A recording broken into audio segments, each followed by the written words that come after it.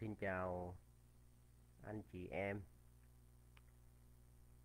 và tất cả các bạn đang xem ờ, chương trình livestream sáng ờ, thứ ba được phát từ ờ, thành phố Mississauga, tỉnh Ontario, Canada. À, bây giờ là 10 giờ 55 phút sáng thứ ba ngày 20 tháng 7 năm 2021. À, đây là chương trình livestream. Thích gì thì à, cứ hỏi, à, biết gì thì nói đó. Cái nào khó quá thì chúng ta bỏ qua. À, thưa các anh chị em, đó là tiêu chí của các cái mục gọi là livestream được phát. Không có kế hoạch. Bởi vì tất cả các cái chương trình này đều à, à, được phát à, mỗi khi tôi có thời gian rảnh và cái à, lịch làm việc của tôi thì à, à, không có cố định. À, bởi vì cái khối lượng công việc và cái sự phát sinh à, mỗi ngày nó không cho phép là có kế hoạch cứ ờ, mỗi tuần một lần và theo cái khung giờ quy định. À, thường thì ờ, các cái buổi ờ, livestream như thế này được phát vào cuối tuần. À, tính theo giờ của Canada là buổi sáng thứ bảy hoặc là sáng chủ nhật. À, tuy nhiên mùa hè thì à, tôi hay có kế hoạch đi chơi cho nên là à, loay hoay buổi sáng thức dậy là ờ, bảy 7 8 giờ rồi chuẩn bị ăn sáng. Xong sau đó là 10 giờ phải xuất phát để đi chơi ở đâu đó. Nếu như mà ờ, uh, livestream thì uh, thường thường nó kéo dài khoảng cỡ một tiếng rưỡi tới 2 tiếng. Như vậy là mất hết nguyên cả buổi sáng thứ bảy hoặc chủ nhật. Thì uh, cái uh, việc mà à, uh, livestream như vậy nó không có uh, cho phép. Cho nên thưa các anh chị em là à, khi nào tôi rảnh thì tôi phát thôi. À, bây giờ để à, tôi à, xem à, các cái câu hỏi của các anh chị em. À, không biết sao nhưng mà trên màn hình của tôi ấy, thì à, vẫn chưa thấy à, các cái câu hỏi của các anh chị em. Thì à, à, trong khi chờ đợi tôi sẽ à, à, tường thuật một số các cái à, thông tin để các anh chị em à, à, có thêm cái à, cập nhật thì à, à, nếu à, anh chị em nào mà à, đang xem cái chương trình này thì à, có thể à, biết thêm thông tin về các cái chính sách nhập cảnh vào Canada. À, trong tháng à, 8 thì à, thưa các anh chị em á, là hôm qua chính phủ à, Canada họ có đưa ra một số các cái thông tin một số các cái cập nhật trong đó có ít nhất là hai cái thông báo tương đối là quan trọng và à, rất vui cho những người mà chuẩn bị vào Canada. Thì à, à, theo cái thông báo à, vào ngày hôm qua họ nói rằng là à, các cái công dân của Mỹ à, và dân thường trú của Mỹ à, ở Mỹ thì người ta gọi là những cái người mà có cái thẻ xanh à, là cái green card holder thì ở Canada họ gọi những cái người đó là uh, permanent residents. Thì cái từ chuyên chuyên dùng của họ đó nếu mà công dân Mỹ thì họ gọi là American citizens. À, còn những cái người mà có thẻ xanh thì họ gọi là permanent residents of the US ở Canada cũng vậy họ gọi là Canadian citizen và à, uh, PR of Canada. Thì bắt đầu từ uh, ngày ờ, 9 tháng 8 à, ờ, các cái công dân rồi các cái dân thường trú à, ở Mỹ tức là láng giềng của Canada à, và con cái của họ à, có thể được vào Canada với à, điều kiện là đã tiêm ngừa đầy đủ à, hai mũi và à, ít nhất là 14 ngày à, trước khi nhập cảnh vào Canada. Thế thì trước đây á, là họ không cho. Tại vì biên giới đóng cửa do là à, số ca nhiễm ở Mỹ nó rất là cao và hai nước họ thỏa thuận với nhau là à, biên giới sẽ đóng cửa. À, đóng cửa là gì? Đóng cửa đối với những cái trường hợp à, nhập cảnh vào Canada hoặc là nhập cảnh vào Mỹ à, với những cái à, mục đích không có quan trọng. À, thì à, cái biên giới đóng cửa từ rất là lâu rồi từ hồi tháng 3 năm ngoái à, cho tới thời điểm này. Thì họ có thông báo rằng là sẽ mở cửa cho công dân Mỹ này à, dân thường trú của Mỹ và con em của công dân Mỹ thường trú nhân của Mỹ được vào Canada với điều kiện là à, fully vaccinated à, tức là đã được tiêm ngừa hai mũi đầy đủ. À, tuy nhiên thì à, hiện tại Canada chỉ chấp nhận bốn loại vaccine à, ở à, ở đây thôi. Thì à, bốn loại vaccine đó là gì? Thứ nhất là Pfizer à, thứ hai là AstraZeneca thứ ba là à, Moderna và thứ tư là Johnson and Johnson thì mới được nhập cảnh vào Mỹ à, nhập cảnh vào Canada. Và những cái người này á, là sẽ không phải à, cách ly à, ở khách sạn à, 3 ngày như trước đây. Đó, mà họ sẽ ờ, nếu mà những cái người mà được được tiêm ngừa đầy đủ thì ờ, họ không phải ờ, cách ly 14 ngày luôn. Tuy nhiên họ vẫn phải theo những cái quy định về gọi là bảo vệ an toàn cho cộng đồng theo những cái quy định hiện thời áp dụng tại cái thời điểm này. Sau đó thì có một cái thông tin khác là những cái công dân hay là những cái người nước ngoài khác à, những cái người nước ngoài khác thì à, sẽ được nhập cảnh vào Canada vào ngày à, à 8 tháng 9 tới. Đó, cũng với điều kiện là những người này phải tiêm ngừa đầy đủ à, một trong bốn loại vaccine mà được phê duyệt bởi Bộ Y tế của Canada. À, và à, cái việc tiêm ngừa vaccine này à, thì phải có bằng chứng. Ví dụ như là phải có một cái xác nhận có thể là điện tử cũng được nhưng mà phải à, trình ra ngay cả trước khi muốn lên máy bay. Tức là họ phải điền các cái thông tin đó vào trong cái à, ứng dụng gọi là Arrive Canada. À, nó viết tắt là Arrive xong rồi là CAN tức là Arrived in Canada gì đó cái ứng dụng của họ và phải tải về rồi điền tất cả các cái thông tin à, mà yêu cầu trên cái ứng dụng đó. Như vậy là cái tin vui là bà con à, Việt Nam chúng ta có thể nhập cảnh vào Canada à, sau cái ngày 8 tháng 9 tới. Như vậy là à, các anh chị em à, phụ huynh á à, các anh chị em phụ huynh mà muốn sang thăm con thì à, tranh thủ đi tiêm vaccine. À, tuy nhiên là phải tiêm đúng một trong bốn loại vaccine đó.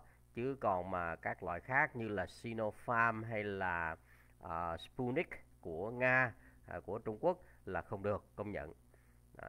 à, như vậy rõ ràng biên giới bắt đầu mở cửa dần dần. À, nhưng mà cái uh, bộ y tế à, với lại là chính phủ Canada họ vẫn đang dè chừng. À, bởi vì sao như vậy? Bởi vì là khi mà mở cửa à, biên giới cho các cái à, người nước ngoài hay là nhiều các cái nhóm đối tượng khác nhập cảnh vào Canada thì có khả năng à, có khả năng là thay đổi à, về cái à, chính sách do điều kiện dịch bệnh nó như thế nào. Tại vì à, thực tế là tiêm ngừa vaccine rất là nhiều rồi. À, chứ không có không có ít. Và Canada hiện giờ là vượt cả Mỹ về cái tỷ lệ được tiêm ngừa à, vaccine. Cho nên á là à, người ta mở cửa dần dần. Nhưng điều đó không có nghĩa là à, cái chính sách này nó không thay đổi. Cho nên à, khi họ thông báo như vậy đó là họ luôn luôn dè chừng tức là tùy vào điều kiện dịch bệnh nó như thế nào để họ có thể thay đổi các cái chính sách.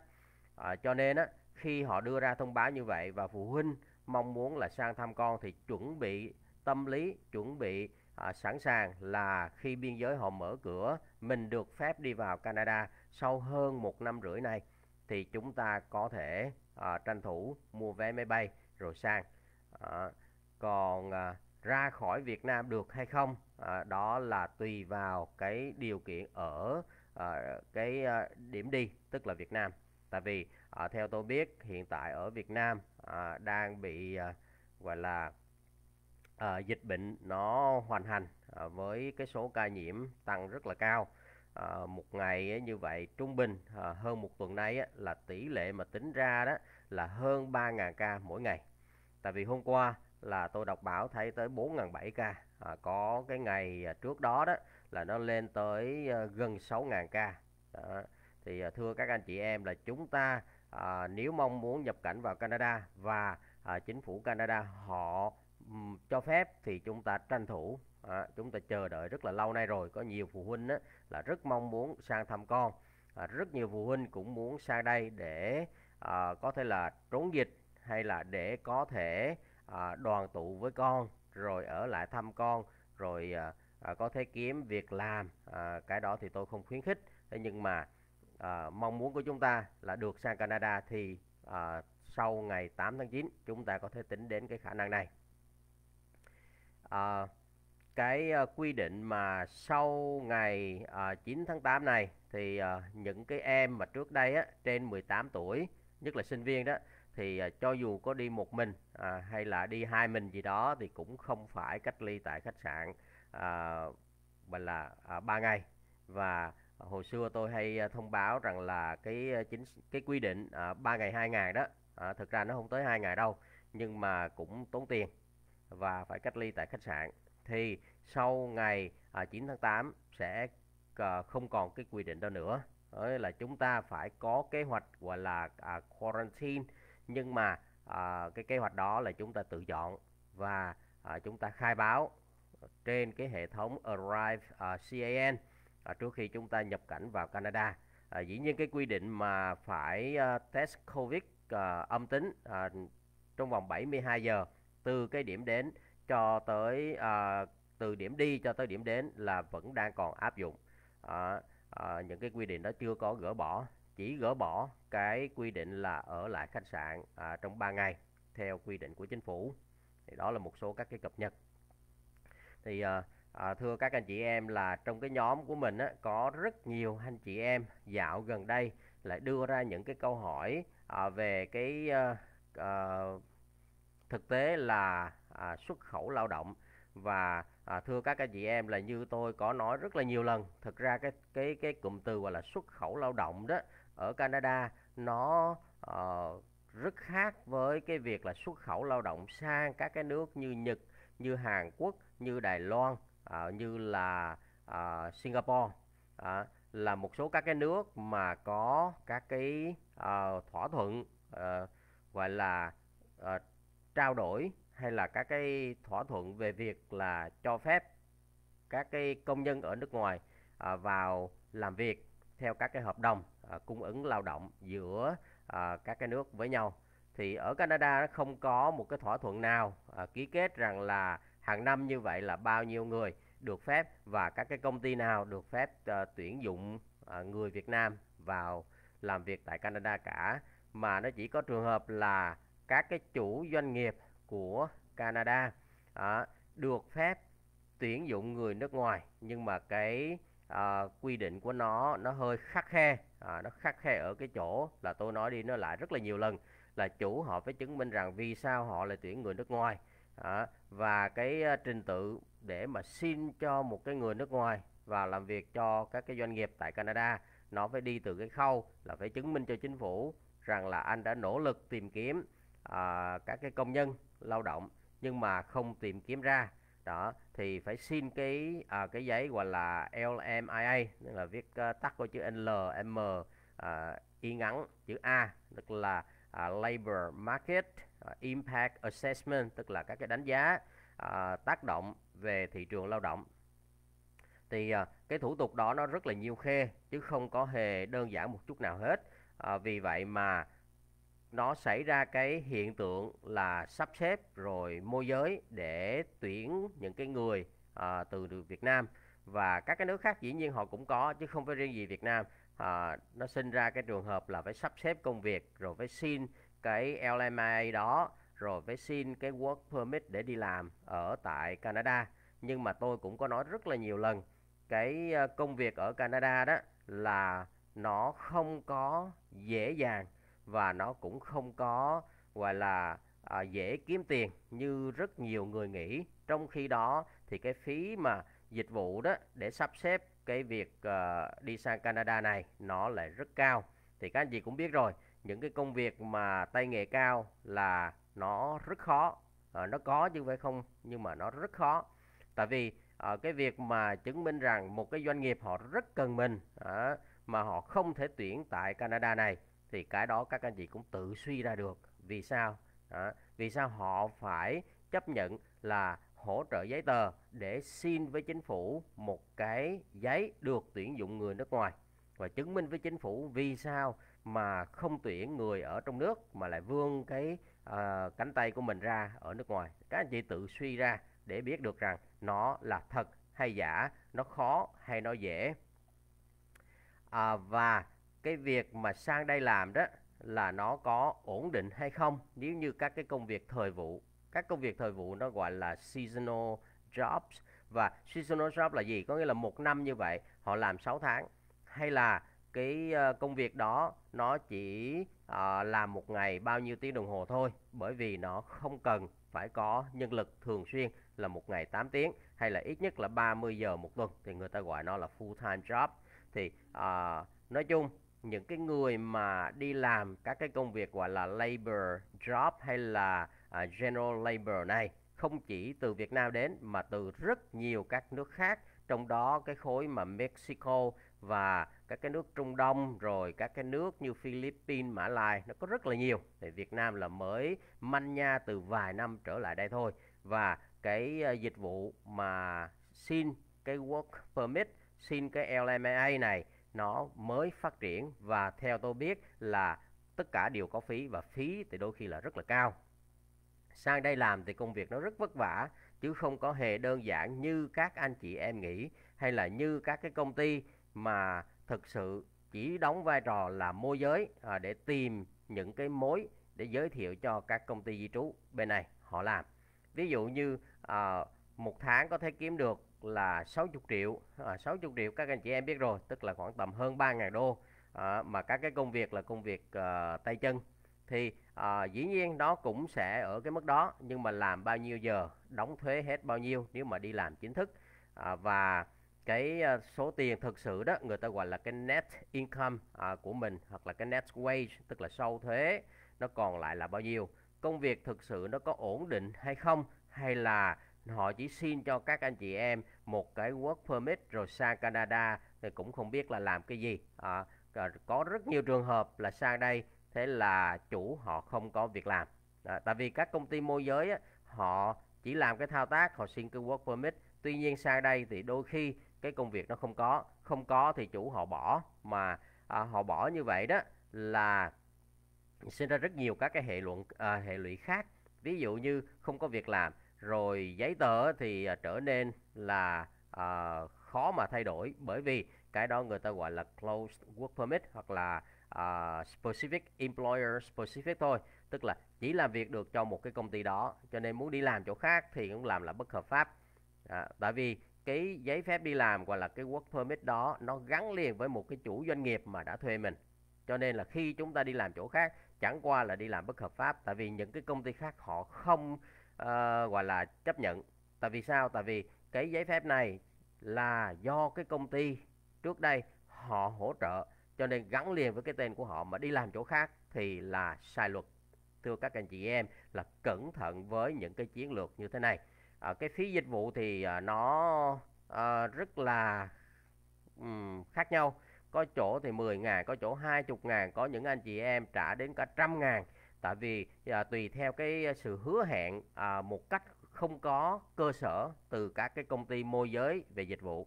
À, có người họ làm cho cái visa du lịch thôi rồi họ quảng cáo lên là visa này được phép đi làm à, visa này có uh, giá trị tới 10 năm à, và họ đưa cái chi phí lên. Thực ra cái visa du lịch đó thì các anh chị em tự có thể xin được hoặc là nếu mà xin bình thường thôi đó thì cái phí dịch vụ nó không bao nhiêu cả 500 đô 800 đô là hết nếu các anh chị em không biết tự uh, tự làm.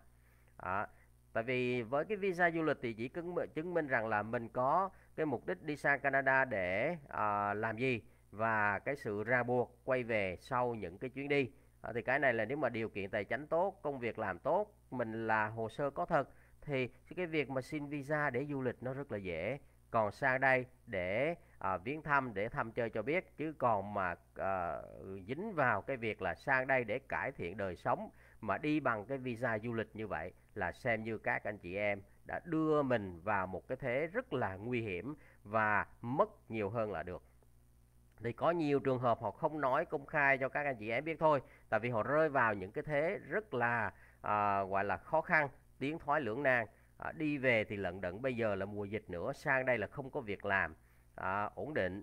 Rồi sang đây thì à, cái giấy phép đi làm chỉ làm được cho một người thôi. À, mà không biết là tương lai mình đi về đâu. Tại vì sao? Cái work permit đó nó không có đảm bảo rằng là các anh chị em được nộp hồ sơ cho một cái uh, chương trình định cư nào đó. Cái việc có work permit nó không không hề gọi là đảm bảo 100% rằng là các anh chị em có cơ hội để trở thành thường trú nhân đó.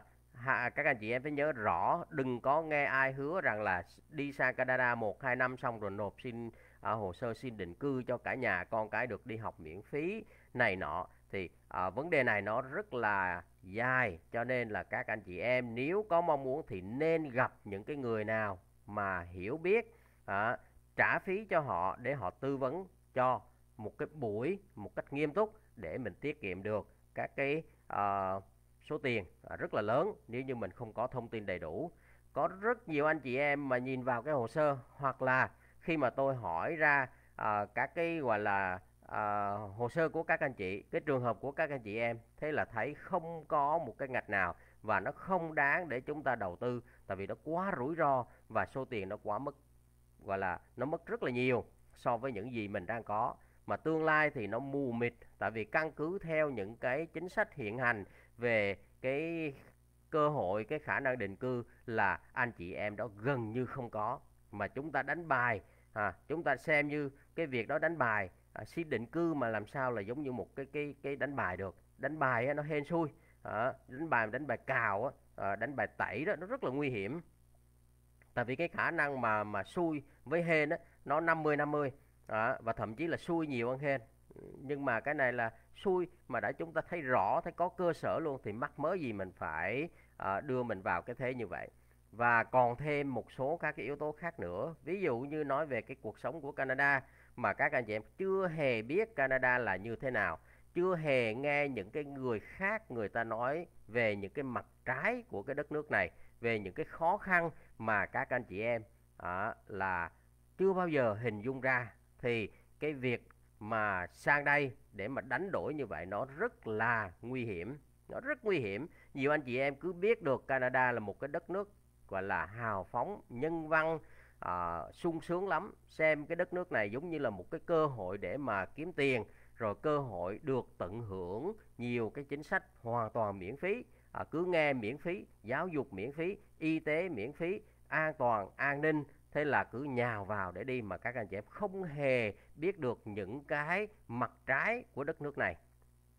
Hiếm người nói cho các anh chị em về cái mặt trái của cái đất nước này.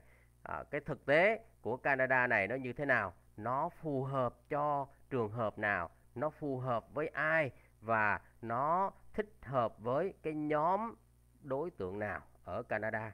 À, và những cái nhóm nào thì khả năng đánh đổi mà có lợi nhiều hơn là bất lợi. Thì hiếm có người nào nói thật cho các anh chị em biết có rất nhiều người Việt sang đây là trở thành à, có thể sau này họ trở thành là công dân thường trú nhân của Canada nhưng mà à, tôi hay nói đùa đó là họ sang đây một thời gian thế là họ trở thành người Việt gốc à, người Canada gốc Việt thầm lặng. Tức là họ không có cái gì để mà họ tự hào hơn nữa tại vì sao tại vì trước đây họ có thể làm à, trời làm đất ở Việt Nam làm vua làm làm nữ hoàng ở Việt Nam họ kiếm tiền rất là dễ sang đây họ không có gì để làm mà chủ yếu là sang đây họ cho con họ được đi học cho con họ một cái môi trường an toàn sống đó. nhưng mà họ phải chấp nhận đánh đổi những cái mặt trái của nó đó. đánh đổi cho nên họ trở nên rất là im ắng đó.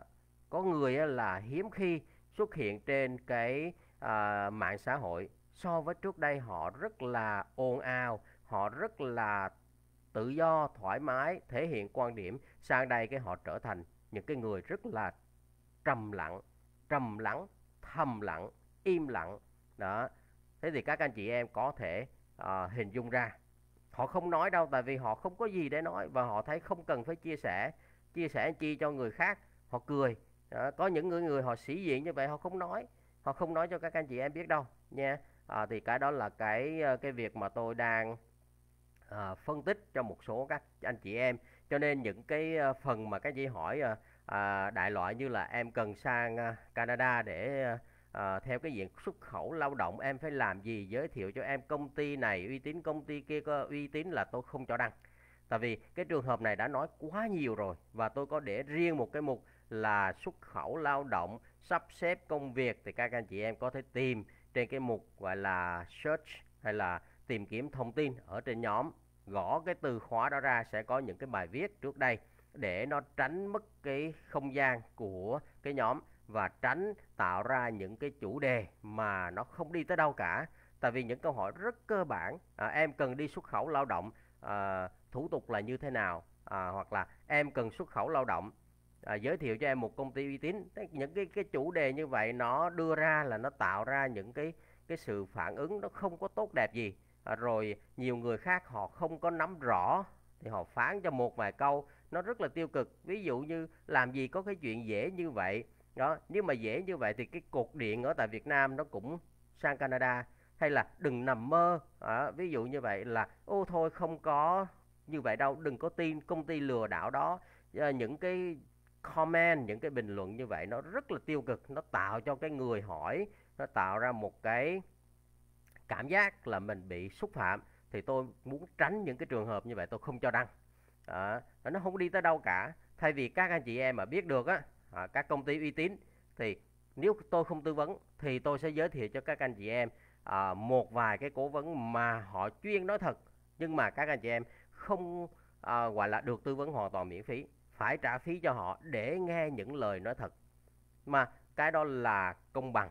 Tại vì sao? Tại vì họ bỏ thời gian ra họ nói thật cho mình biết họ cung cấp à, thông tin rõ ràng cho mình thì mình phải trả phí cho họ. Đó là chuyện bình thường. Đó. ví dụ bây giờ là tôi không có tư vấn miễn phí à, trừ những cái học trò của của tôi hay là những phụ huynh mà có con sang học cái trường của tôi tôi mới tư vấn miễn phí. Tại vì các anh chị em hỏi rất là nhiều. Hỏi từ cái cái cái con số 0 à, hỏi hết như vậy hỏi về cuộc sống Canada hỏi về à, cái cơ hội có thể sang Canada làm gì. Nó mất khách của tôi phải ít nhất cũng phải một tiếng đồng hồ. Đó cho nên là tôi không có chấp nhận những cái câu hỏi ngay từ đầu như vậy. Và tôi luôn luôn khuyến khích là lên cái kênh của à, Canada cần gì nói kênh YouTube á, thì tôi đã lưu lại tất cả những cái phần đó. Các anh chị em cố gắng mà nghe hết nghe hết như vậy luôn để có những cái thông tin cơ bản chứ đây là một cái cơ hội rất lớn mà các anh chị em không chịu nghe. Trong khi đó tất cả những cái câu này đã được trả lời rồi đã được trả lời từ chỗ này tới chỗ khác từ các ngóc ngách của vấn đề mà các anh chị em không chịu bỏ thời gian ra để nghe. Đó, hoàn toàn miễn phí mà không chịu nghe. Mà những cái cơ hội lớn như vậy mà chúng ta không có chuẩn bị không có thông tin thì chúng ta không nên sang Canada để làm gì. Không nên đó. còn không á thì là các anh chị em cứ đặt cái lịch hẹn với các cái cố vấn di trú mà họ là những cái người làm có tâm không biết tôi giới thiệu cho và phải trả phí cho họ đó. ít nhất mà tôi nói là phí như vậy thấp nhất nếu mà các cái cố vấn này họ bỏ ra một giờ là phải là một trăm rưỡi đô một trăm rưỡi đô đó. còn không á, có nơi họ lấy hai trăm rưỡi có nơi họ lấy 500 tại vì cái đó là cái thời gian họ bỏ ra và khi được tư vấn như vậy họ phải báo cáo trong cái thu nhập của họ. À, tại vì họ là những cái người hành nghề có giấy phép. Thì à, thưa các anh chị em tôi nói hơi nhiều à, hơi nhiều nhưng mà những cái gì mà cần nói thì tôi đã nói và nói đi nói lại rất nhiều. Bây giờ chúng ta quay sang cái việc là chào hỏi à, các anh chị em một chút. À, chào chị à, Nguyễn Kim Thanh Mai. À, chị cũng có hỏi tôi rất là nhiều các cái à, câu hỏi liên quan tới con của chị và chị à, là người đầu tiên à, vào chào. Xin à, cảm ơn chị. Pha Song Nguyễn thầy ơi ngày 9 tháng 8 bắt đầu bỏ qua cách ly 3 ngày bắt buộc thì con có thể tự cách ly tại nhà 14 ngày được không? À, được hoàn toàn. Được hoàn toàn. Nếu mà bay sau ngày 9 tháng 8 và cái việc cách ly 14 ngày đó phải được viết trong cái kế hoạch cách ly nó gọi là quarantine plan. Và như là tôi đã giải thích là phải kê khai phải thông báo à, trong cái ứng dụng à, Arrive Canada phải tải về và điền vào đầy đủ trong đó. Và nếu không có điền vào thì họ không cho bay đâu. À. Giang à, Selena thầy ơi cho em hỏi à, về lệnh bãi bỏ cách ly 3 ngày tại khách sạn ngày 9 tháng 8 thì dành cho tất cả mọi người hay dành cho công dân Mỹ thôi? À, cái này là dành cho tất cả mọi người. Nó gọi là all foreign uh, nationals à, chào Hà Trinh Hà Trinh. À, một cái người thường xuyên theo dõi chương trình livestream ở trên nhóm. Trần Phương Ngân thầy ơi con sắp qua Mississauga du học cho con hỏi hiện tại tháng 9 học trực tiếp hay học à, online? Sẽ có một cái à, sự kết hợp. Nhưng mà cái à, việc học trực tiếp tại Canada là khả năng rất cao tại vì các cái trường đó họ có hai lựa chọn. Một là đăng ký học trực tiếp hai là đăng ký học online. Tuy nhiên các cái trường tư thục á, thì họ có những cái chính sách mà nó linh hoạt hơn. À, có nghĩa là đôi khi họ sẽ chia cái à, chương trình học ra là 50% trực tiếp. Tại vì cái việc mà quay trở lại trường học mở cửa trở lại là cái việc nên làm để cho uh, uh, thực hiện cái bước đầu tiên đó là tái khởi động cái chương trình học trực tiếp tại cơ sở. À, tuy nhiên vẫn còn nhiều học sinh ở bên ngoài Canada mà họ có thể là vì à, lý do này vì lý do kia à, khách quan họ vẫn chưa sang Canada. Cho nên à, sẽ có một cái chương trình dạy cho những cái em mà à, đang ở ngoài Canada và dạy qua online. À, tuy nhiên tôi vẫn khuyên rằng các em nếu đủ điều kiện để sang Canada thì nên sang à, trước khi nó có những cái chính sách khác áp dụng cho những cái nước mà có cái tình hình dịch bệnh nó đang không thuận lợi ví dụ như Việt Nam chẳng hạn. À, ví dụ như các cái nước à, từ Mã Lai từ Myanmar cái điều kiện dịch bệnh nó đang chuyển sang rất là xấu. À, và những cái nước này có thể bị xếp vào những các uh, gọi là các cái nước mà không đủ điều kiện để nhập cảnh. À, tại vì họ sợ lây lan thì chính sách họ thay đổi liên tục. Cho nên nếu như à, con được phép bay sang Canada vào 9, tháng 9 này thì con nên bay sang nên sắp xếp để bay sang. Đừng có lo sang đây vẫn an toàn và sang đây để tiêm chích vaccine đầy đủ và à, có một cái sự trải nghiệm về cuộc sống của Canada. Nguyễn Kim Thanh Mai chị hỏi tiếp thưa thầy chương trình định cư diện skill worker có job offer phải là cách tối ưu nhất không? Nó không phải là cách tối ưu nhất, à, không phải. Nó có nhiều cái chính sách à, nhưng mà cái này nó hơi dông dài. Nó tùy theo cái điều kiện à, tùy theo cái nền tảng à, của cái người nộp hồ sơ. Có những người phù hợp với job offer. Ví dụ như trường hợp của tôi à, tuổi lớn rồi à, à, nếu mà tính điểm theo những cái diện khác như là skill worker mà diện extract entry thì à, tôi không đủ điều kiện. Trước đây á chứ còn bây giờ thì quá dư điều kiện rồi tại bởi vì cái điểm gọi là theo chương trình extract entry mà diện uh, Canadian Experience Class thì nó uh, rất là dễ đối với tôi. Uh, số điểm hạ thấp quá và uh, hạ thấp như chưa bao giờ thấp uh, như chưa bao giờ thấp hơn thì nó rất là dễ dàng. Nhưng mà uh, cái job offer là cái nói chung nó phù hợp cho một số các cái uh, đối tượng nộp hồ sơ à, như là những cái người lớn tuổi chẳng hạn. Đó và có công việc nó ổn định. Như vậy thì à, đối với tôi cái à, chương trình gọi là job offer à, mà tôi đã nộp một năm trước nó là phù hợp nhất. À, tuy nhiên những cái em sau này những cái em mà vừa mới à, tốt nghiệp hồi năm ngoái làm việc được hơn một năm nay thì cái điều kiện nộp extract entry dạng là Canadian Experience Class là quá dễ quá thuận tiện cho nên là không thể nói cái diện skill worker mà có job offer là tối ưu nhất. Tùy theo à, từng cái trường hợp một tùy theo cái thời điểm mà chúng ta nộp hồ sơ. Chứ còn những học sinh mà bây giờ đang đang học á, thì chúng ta chưa nói được điều gì cả tại vì các em chưa tốt nghiệp các em chưa đủ điều kiện để theo một cái diện nào cả. Vinh Lê Thầy ơi em lăn tay được 4 tháng rồi mà vẫn chưa kết quả xin thị thực thầy nhỉ? À, Cái này thì ờ, à, chịu thầy vẫn không có biết có nhiều hồ sơ họ giam rất là lâu nhưng mà em nên nhớ rằng là họ vẫn đang xử lý. Họ vẫn đang xử lý tại vì họ có một cái hệ thống theo dõi hồ sơ hẳn hoi. Nếu như mà quá lâu à, và họ nói rằng là thời gian xử lý chỉ là 4 tháng thì mình qua 4 tháng mình có quyền viết cái à, yêu cầu à, nhờ họ xem xét hồ sơ của mình đã tới đâu. Chứ còn trong điều kiện dịch bệnh họ nói rằng là họ không cam kết về mặt thời gian thì chúng ta chỉ việc đợi à, Minh Đăng Lê Vũ em chào thầy. Em là người chưa tiêm vaccine. Thầy cho em hỏi chuyến bay của em ngày 17 tháng 8 lộ trình từ Hàn Quốc à, à từ Hà Nội hay gì đó thì em sẽ thực hiện cách ly à, ở à, một cái sân bay được không? Hay là à, à, YVR nói chung là các cái nơi này là các cái mã số về các cái sân bay thì em vẫn thực hiện cái việc là cách ly 14 ngày tại vì em bay ngày 17 tháng 8 mà trong lúc đó cái ngày 9 tháng 8 là họ đã hủy bỏ cái uh, cái cái việc gọi là cách ly tại khách sạn rồi cho nên em có quyền à, cách ly chỗ nào đó. Nhưng mà tôi khuyên rằng là nên cách ly tại cái điểm đến cho nó yên tâm cách ly đó 14 ngày xong rồi mình bay các cái chuyến bay nội địa đi đâu thì đi nó dễ dàng hơn. Lương Nguyễn em chào anh Hòa em có mấy câu hỏi mấy câu luôn. Cho nên là tôi đọc từ từ xem thử câu nào nó khó thì à, à, tôi bỏ qua. Tại vì những cái trường hợp mà nó quá dài như thế này thì chắc là em phải à, có một cái buổi hẹn riêng chứ nó quá dài để để trả lời à, trong một cái à, à, chương trình livestream như thế này. Tại vì nó chiếm nhiều thời gian của người khác. À, ngành travel tức là du lịch á à, du lịch khách sạn học tại à, Niagara Falls hay là ở Vancouver? Em search trên mạng thì thấy năm 2019 trước đại dịch Covid-19 Vancouver đón 6 triệu lượt khách quốc tế. Trong lúc đó Niagara à, à, đón gần 13 triệu khách quốc tế.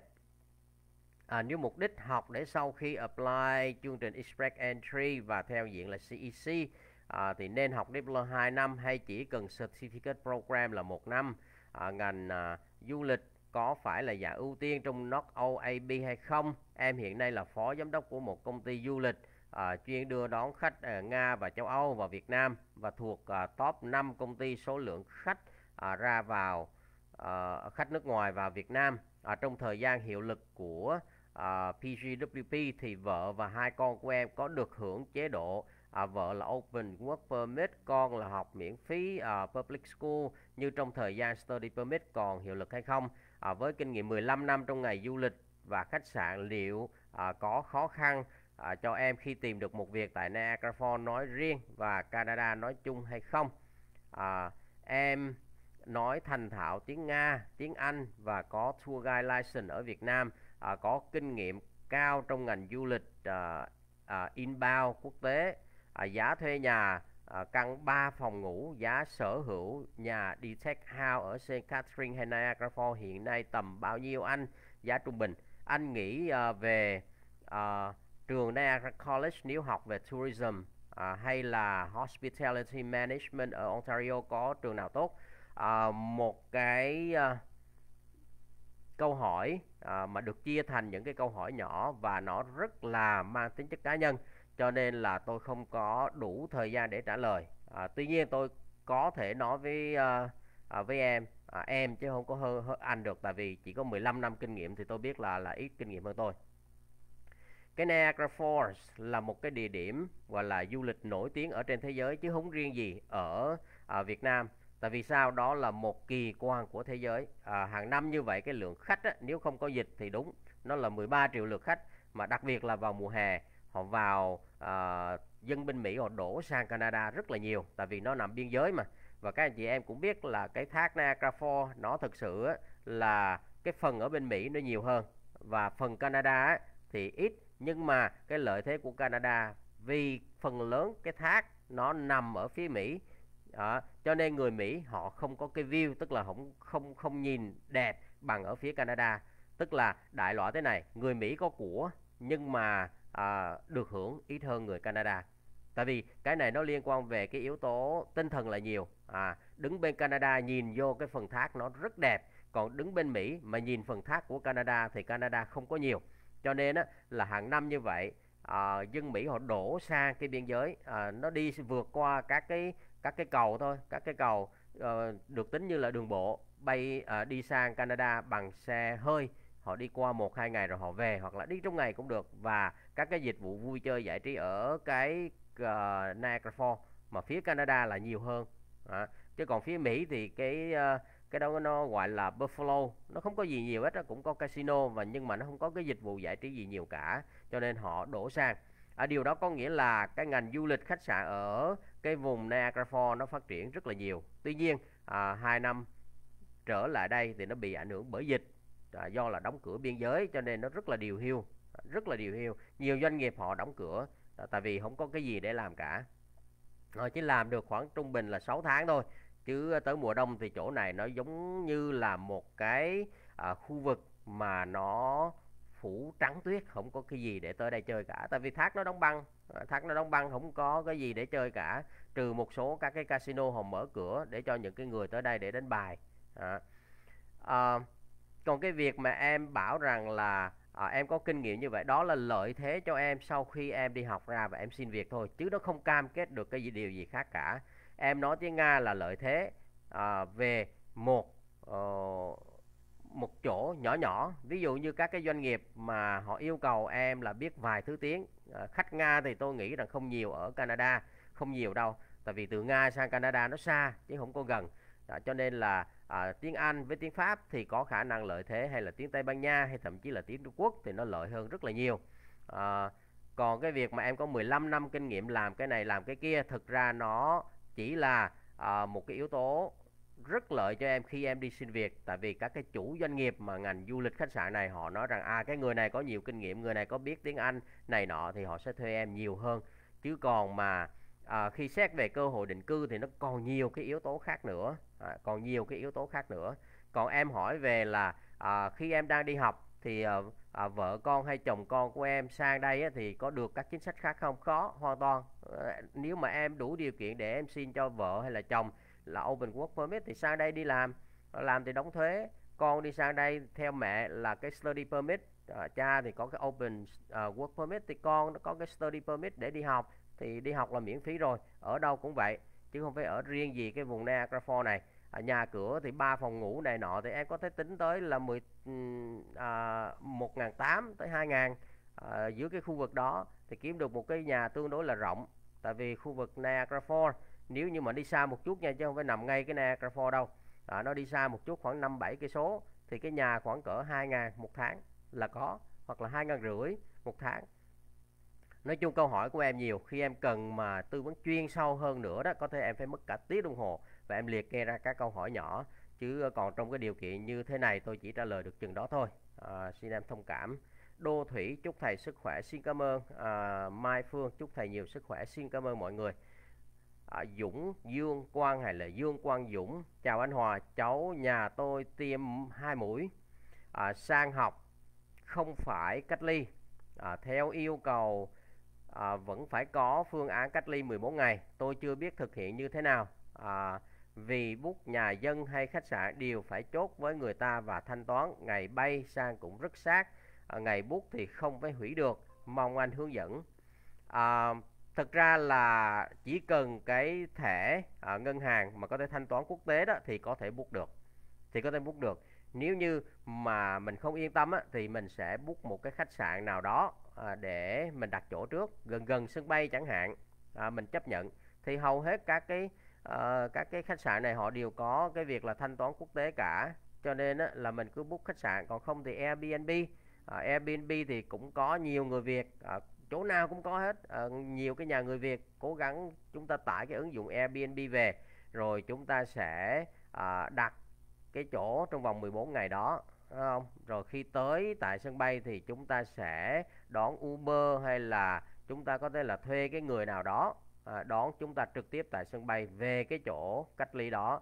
Thì chúng ta cần cái gì? Chúng ta cần thông tin cái địa chỉ cái người liên hệ rồi chúng ta đưa cái confirmation đó ra cho chính phủ. Tại vì chắc chắn chính phủ họ nói là à, bạn sẽ ở đâu thì chúng ta đưa ra. Và không phải hải quan họ hỏi ngay lúc đó đâu mà chúng ta cần phải khai báo khi chúng ta tải cái ứng dụng uh, Arrive Canada vào. Ngay từ đầu là chúng ta phải có cái uh, chỗ cách ly thực ra cái phương án thì họ sẽ hỏi rằng ví dụ như cái chỗ đó là có cái ờ, private washroom tức là cái nhà vệ sinh riêng hay không? Rồi có cái ờ, việc là à, à, ừ, ừ, được cung ứng thức ăn như thế nào? À, chúng ta trình bày bên trong đó. Thực ra là chính phủ họ mong muốn họ muốn cho họ mong muốn. Họ muốn biết rằng cái người này cách ly là phải có cái phương án cụ thể. Ai đưa thức ăn ở chỗ nào khi có gặp sự cố thì như thế nào? Hoặc là họ sẽ kiểm tra đột xuất xem thử là cái người ờ, khách đến Canada này họ có tuân thủ theo những cái quy định của ờ, bên ờ, Bộ Y tế hay không. Thì thực ra nó không có khó khăn gì đâu. Chúng ta đặt cái khách sạn hay là chúng ta đặt Airbnb à, nên có một cái thẻ mà có thể thanh toán à, quốc tế được. Nó đơn giản mà không có khó gì hết. Đây là thời đại à, công nghệ rồi cho nên ở Việt Nam chúng ta vẫn có thể thanh toán được và nếu chưa có thì chúng ta nên liên hệ một cái ngân hàng nào đó à, ở tại Việt Nam để chúng ta mở một cái visa thôi một cái thẻ visa và có thể thanh toán quốc tế. À, rồi xong rồi sang Canada chúng ta không xài cũng không sao. À, nhưng mà nên nên bắt đầu quốc tế hóa đi cho nó à, thuận tiện. Ví dụ như tôi vẫn đang xài cái thẻ visa của Techcombank à, sau này tôi vẫn xài được tôi vẫn dùng cái tài khoản PayPal. À, thì uh, PayPal là gì thì chúng ta có thể uh, uh, tạo cái tài khoản PayPal chúng ta liên kết với cái uh, tài khoản của chúng ta. Uh, tất cả các thứ bây giờ tôi vẫn thanh toán qua PayPal được mà. À, cái số tiền đó số tiền Việt trong cái tài khoản của tôi tôi link qua được hết. Tức là tôi kết nối qua cái cái tài khoản ngân hàng của Techcombank của tôi. Bình thường không có vấn đề gì cả. À, Minh Thu xin chào thầy Tôn Đức Hòa. Cảm ơn chị. À, xin chào.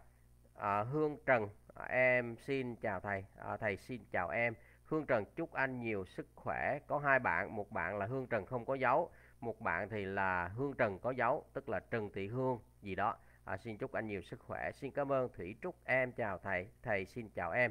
À, anh à, Tôn Thức à, à, Viên mến chào em. Chúc em luôn vui vẻ. Xin cảm ơn anh.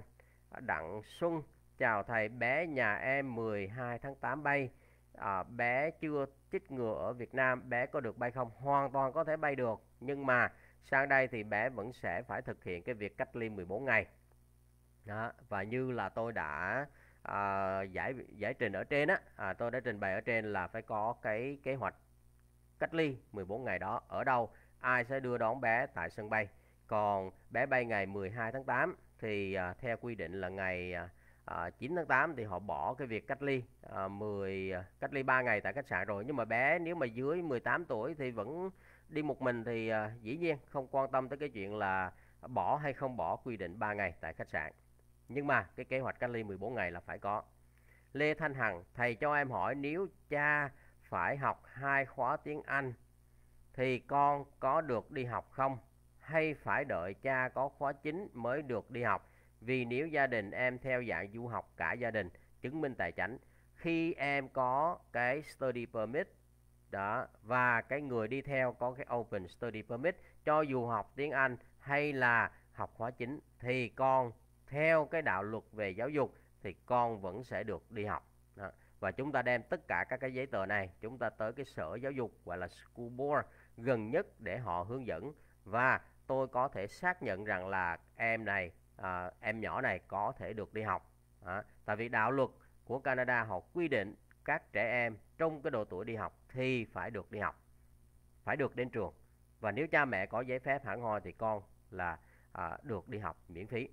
Ngô Mỹ Duyên, em chào thầy, thầy cho em hỏi Oshawa, Ontario, cuộc sống môi trường thế nào? Vì em tính học ở Ontario Tech, ở đó. Em nghe nhiều người review nói vùng đó tệ nạn, tỷ lệ tội phạm cao nên cũng hơi ngại. Thực ra cái Oshawa là một cái thành phố tầm trung, à, cái thành phố tầm trung. Tôi có về và tôi có à, giới thiệu về cái trường à, Durham tức là ở đây á, cái khu vực Oshawa này nó có một cái trường cao đẳng Durham và nó hay có một cái sự kết hợp giữa cao đẳng Durham với lại là cái đại học Ontario Tech. Thì từ cái tên gọi là đại học Ontario Tech là chúng ta biết rồi. Tech là technology. Họ rất mạnh về các cái chương trình đào tạo về công nghệ. Và à, nghe nói thôi là tệ nạn rồi tỷ lệ tội phạm cao. Thực ra đó là chỉ nghe nói thôi.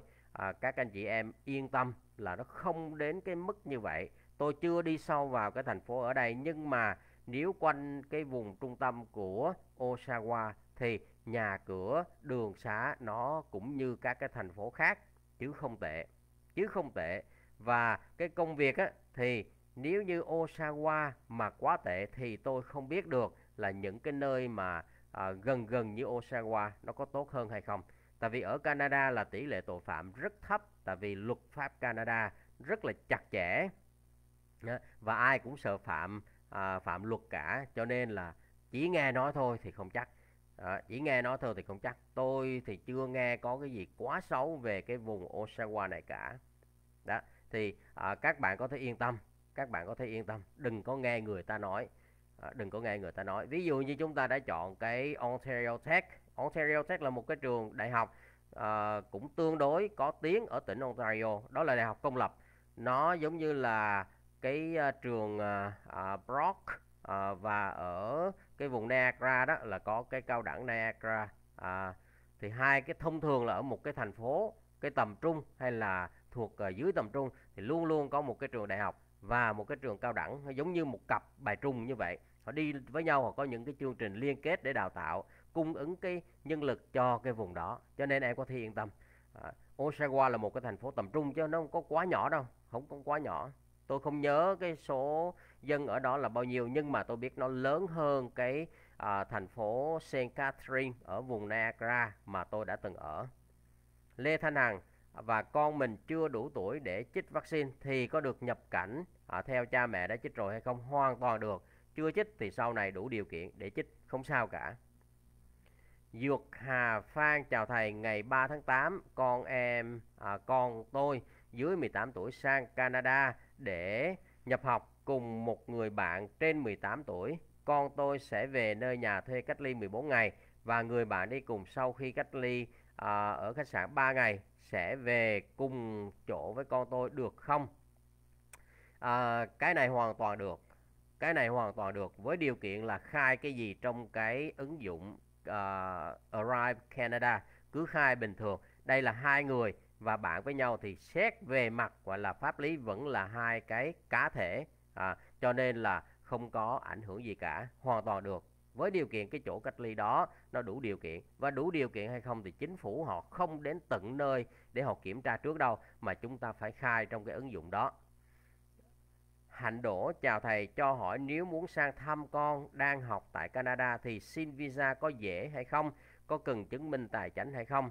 À, thứ nhất là xin sang thăm con, đó là xin theo cái visa du lịch. Và cái mục đích thăm con là mục đích chính đáng. Cái đó là yếu tố đầu tiên. Còn cái việc xin có dễ hay không á, thì nó sẽ có một số các điều kiện khác khi mà chúng ta nộp xin visa du lịch. Bởi vì sao? Tại vì họ sẽ xét theo từng cái cá nhân mà nộp hồ sơ xin đó. Dĩ nhiên là chúng ta phải chứng minh rằng mục đích đi Canada là chính đáng. Ví dụ như có con ở Canada và đi thăm con, đó là một mục đích chính đáng chứ không phải là không có cái gì mà sang Canada. Và có được duyệt hay không á, thì nó có nhiều yếu tố khác. Ví dụ như là mình phải chứng minh sau khi mình đi thăm con thì mình về à, mình về Việt Nam. Cái ràng buộc đó là gì? Nó không giới hạn. Ví dụ à, trong đó có cái quy định là à, phải chứng minh rằng là mình có công an việc làm mình có tài chính để mình trang trải khi sang Canada và mình có nhà cửa ở tại Việt Nam vân vân. Thì những cái yếu tố đó nó giúp cho cái người xét duyệt hồ sơ tin rằng là mình đi sang Canada để du lịch sau đó mình sẽ về. Đó, theo đúng cái quy định của cái ờ, yêu cầu là xin vào Canada để du lịch. Cho nên dễ hay khó nó tùy vào cái hồ sơ. Tuy nhiên là khi nộp hồ sơ chúng ta chứng minh làm sao đó là cái mục đích chúng ta đi Canada là có thật và chúng ta đi xong thì chúng ta về. Không sao. Ruby Nguyễn à, chào chị ờ, Nhung. À, chào tạm biệt anh ờ, anh à, anh Viên ạ. À. anh Hùng Hồ chào anh. À, chúc sức khỏe nhé. Xin cảm ơn anh Hùng Hồ. Phương Đỗ xin chào em. Chi Phạm à, anh ơi tháng 9 này visa du lịch à, sang được không? Nếu chưa tiêm vaccine. Nếu chưa tiêm vaccine vào cái thời điểm mà à, trước 14 ngày trước khi à, bay sang thì là chưa được. Cho nên à, họ có cái thông báo là ngày 7 tháng 9 là khách du lịch có thể vào Canada được đó, với những cái mục đích là là không quá cần thiết như trước đây. À, đại loại là khách du lịch có thể vào Canada nhưng có điều kiện là phải tiêm ngừa một trong bốn loại vaccine và tiêm đầy đủ nhé. À, ví dụ Johnson Johnson thì một mũi thôi còn ba loại kia là phải hai mũi. Và cái thời điểm gọi là à, nhập cảnh vào Canada thì phải tiêm hai mũi đó trước 14 ngày. Chứ còn mà mới tiêm tuần mà bay sang thì họ vẫn không cho. Hai lúa à, chào thầy Hòa xin chào ạ. Hà Tuấn Anh cảm ơn anh rất nhiều uh, chia sẻ hết sức có tâm. Em sẽ uh, xem lại các clip trên YouTube anh đã đăng như anh khuyên. Uh, tôi nghĩ rằng là em nên xem tất cả những cái clip mà tôi đã uh, tư vấn từ hồi năm 2019 tới bây giờ. Tức là à, từ cái lúc mà dịch bệnh nó xảy ra tôi có rất nhiều các cái phần à, livestream trả lời các cái câu hỏi trên nhóm và tôi sợ nó à, trôi thất lạc chỗ này chỗ kia cho nên tôi tạo ra cái kênh Canada cần gì nói. À, tôi không có nhiều cái người theo dõi thực sự ở trên đó đâu tại vì đó là một cái kênh phụ. Nhưng mà tôi lưu hết tất cả những cái phần livestream này ở trên đó. Và nếu ai có nhu cầu thì tôi khuyên là nên nghe lại hết tất cả.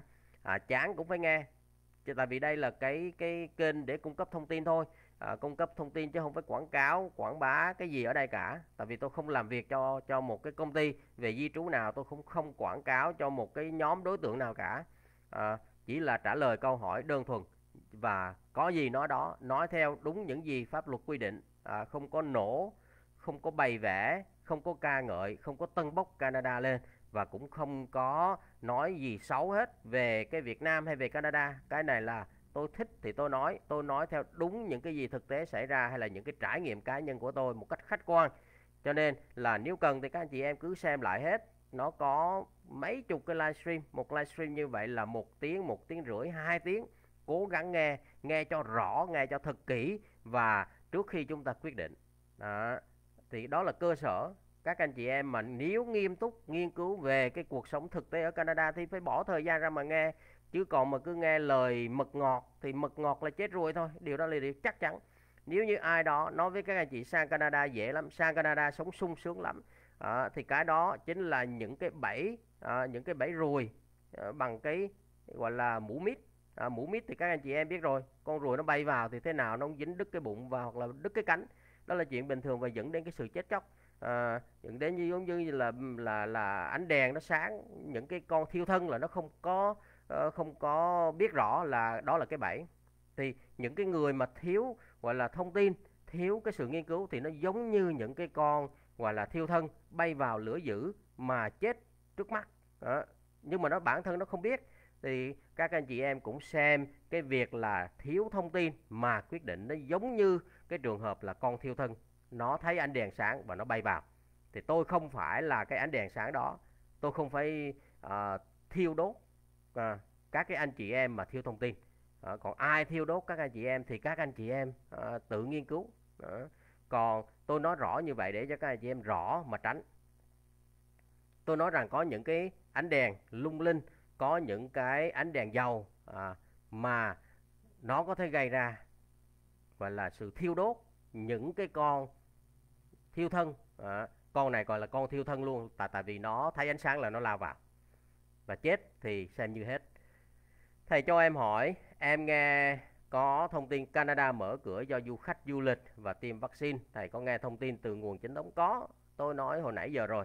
Có thể là do cái câu hỏi à, à, từ rất sớm 25 phút trước. Nhưng mà tôi có trình bày à, đến hai ba lần rồi đó là có thông tin này chính xác ở trên trang web của chính phủ là canada.ca và nhiều cái à, báo hoặc là chính thống khác họ đã à, phân tích và họ đã ghi nhận lại từ những cái buổi họp của à, chính phủ từ cái lời nói của thủ tướng Justin Trudeau.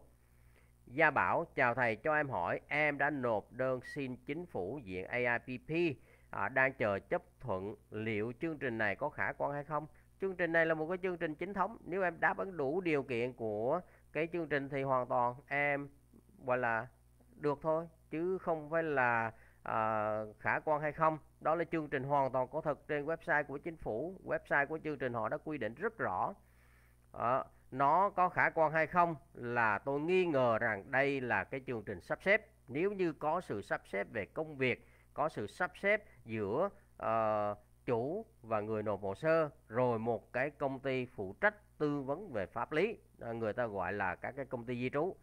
Nếu thực sự đó là một cái việc thật đó là một cái gọi là cái ngạch mà à, đầy đủ đáp ứng đầy đủ những yêu cầu của chương trình. Thi hoàn toàn có thật.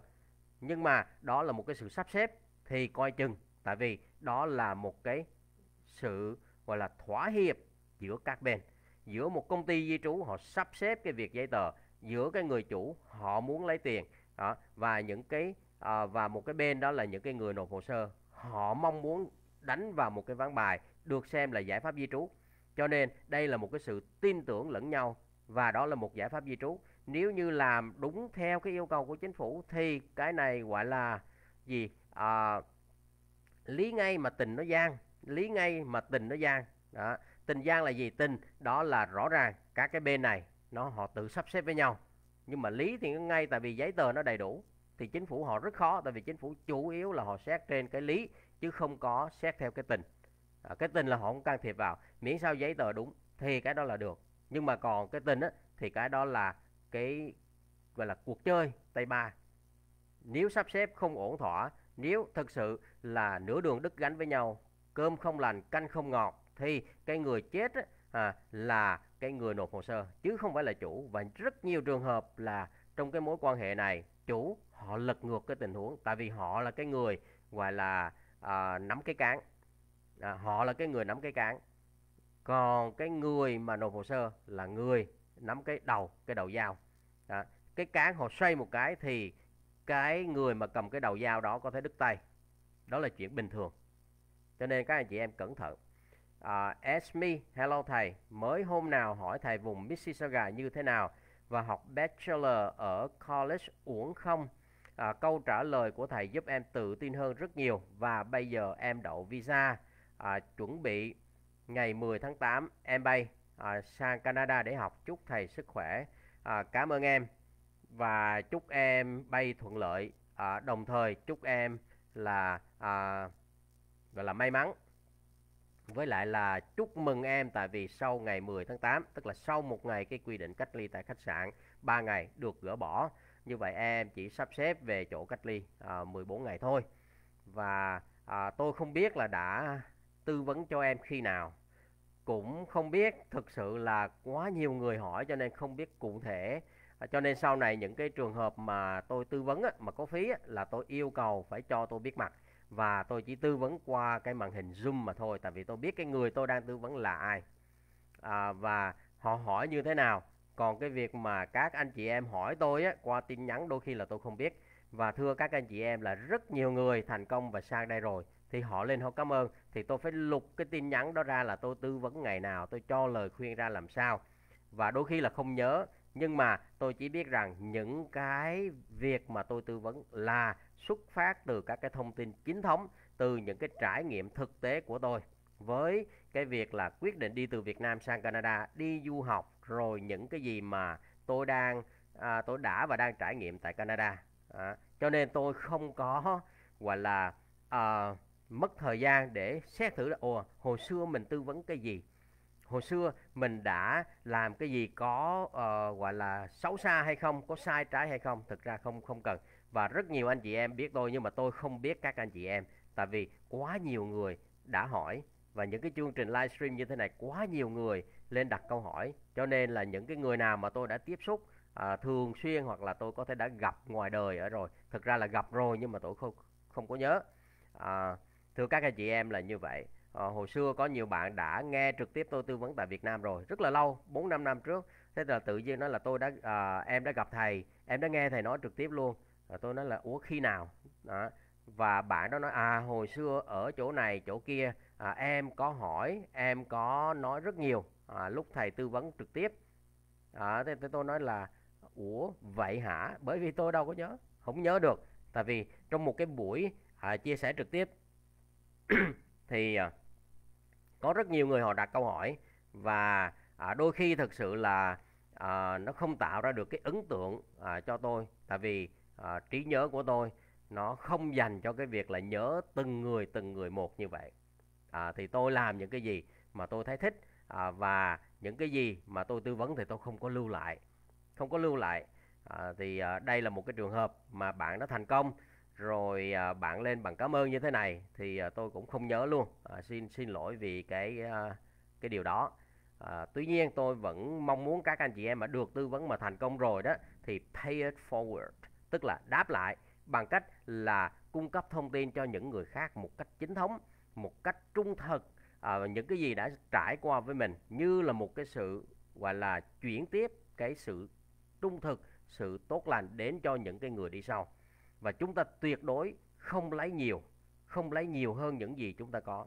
Ví dụ sau này một số các anh chị em sang đây cũng làm cho công ty di trú thì các anh chị em cứ nhớ rằng là mình đừng có lạm dụng và mình đừng có ích kỷ để mình lấy nhiều cái phần của người khác hơn là mình cần được, mà mình nên cho. Tại vì cuối cùng thì cuộc đời nó rất ngắn và chúng ta làm cái gì có lợi cho nhiều người khác và chúng ta chỉ nhận những gì chúng ta xứng đáng được nhận mà thôi chứ còn chúng ta lấy nhiều quá thì những cái người khác họ mất phần.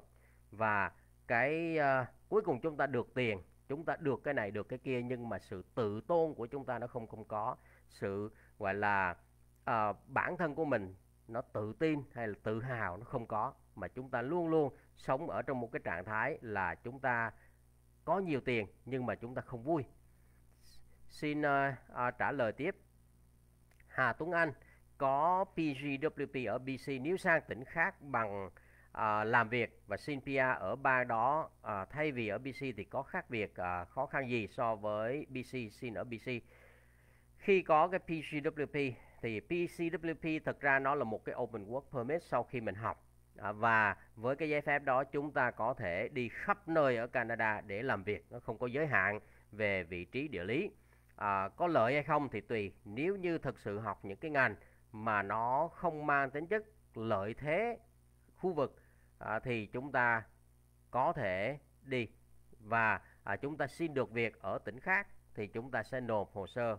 Ở cái liên bang chẳng hạn thì nó giống nhau không quan trọng. Quan trọng nhất vẫn là cái việc làm. Mà chúng ta học ở BC nhưng mà làm ở tỉnh Ontario hay làm ở Alberta thì à, cái à, kinh nghiệm nó vẫn là kinh nghiệm Canada. Ví dụ như chương trình Canadian Experience Class thì nó không phân biệt ở vùng miền nào cả tuy nhiên nếu mà nó à, nộp vào những cái hồ sơ PNP tức là cái chương trình của tỉnh bang đó thì nó có một cái à, yếu tố đó là chúng ta phải ràng buộc chúng ta cam kết là đã ở tỉnh này à, những cái mối quan hệ chúng ta được thiết lập bằng cách là chúng ta đã học ở tỉnh đó chúng ta đã cố gắng xin việc ở tỉnh đó. Đó là một cái lợi thế của các cái chương trình PNP ví dụ như tôi là trong cái cái cái hồ sơ đó là cam kết à, từ xưa tới giờ tôi ở Canada và tôi ở tỉnh Ontario rồi bây giờ chủ của tôi vẫn đang ở tỉnh Ontario. Tôi có cái mối quan hệ à, bạn bè ở đây từ lúc mới sang là tôi học ở đây rồi tôi làm ở đây vân vân. Thì các cái đó yếu tố đó chứng minh với chính phủ rằng là à cái người này cam kết là từ xưa tới giờ gắn gắn bó với tỉnh. Thì đó là một trong những cái yêu cầu của các chương trình tỉnh bang. Nguyễn Thạch chào thầy xin chào. Lương Nguyễn em cảm ơn anh. Em nhắn cho anh trên message xong việc anh xem giúp em. À, những cái tin nhắn nếu mà tôi có thời gian thì tôi sẽ trả lời. Tuy nhiên nếu nhiều quá là luôn luôn tôi nhắn rằng à, những câu hỏi này nó quá nhiều nó hoặc là nó quá nhỏ và nó chia phần nhỏ ra mất thời gian thì tôi khuyến khích các anh chị em là nên đặt một cái lịch hẹn một cách nghiêm túc. À, nếu mà tôi à, à, có thời gian thì tôi sẽ nhận. À, và và cái lịch làm việc của tôi thực ra cái này không phải là cái nghề của tôi là tư vấn gì cả. Nhưng à, nếu như hỏi tôi mà nhiều vấn đề Ờ, và cái lộ trình rồi những cái trải nghiệm à, để phù hợp với cái à, từng hoàn cảnh thì tôi sẽ nhận tư vấn. Và thực ra một tuần như vậy một hai giờ thôi chứ không nhiều tại vì đó không phải là công việc chính của tôi. Công việc chính của tôi là tuyển sinh và chăm sóc học sinh à, cho trường trung học Arendelle mà thôi. À, cho nên là cái người trả lương chính cho tôi chính là trường học và tôi đang làm. Nhưng mà tôi à, đưa ra những cái giá trị cho cộng đồng à, cho những cái anh chị em thì từ đó à, phụ huynh hay là học sinh họ biết tôi. À, họ biết tôi là cái người người thật việc thật và đang làm trong cái lĩnh vực này à, lĩnh vực giáo dục. Cho nên họ gửi con em tới cho trường tôi. Đó chính là cái à, lợi thế của tôi khi làm những cái công việc à, gọi là bao đồng như thế này. Hoàng Lan xin chúc thầy thật nhiều sức khỏe. Xin cảm ơn tất cả mọi người.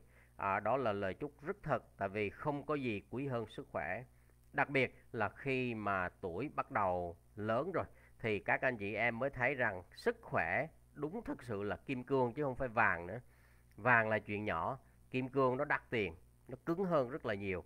Đó, và cuộc đời đó nếu như chúng ta ngồi trên một đống tiền à, một núi tiền mà sức khỏe chúng ta không có thì xem như cuộc đời của chúng ta không có vui vẻ gì cả sức khỏe chính là kim cương cho nên là xin cảm ơn à, Hoàng Lan đã chúc sức khỏe.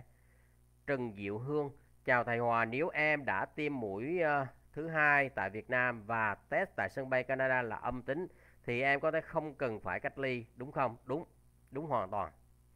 Thực ra là em không cần phải cách ly cái gì hết đó tại vì khi mà à, test covid tại Việt Nam này à, là à, trong vòng 72 giờ phải không? À, ví dụ ngày mai mình bay thì à, cách đó một hôm mình đi test là mình âm tính cái đó là yêu cầu bắt buộc.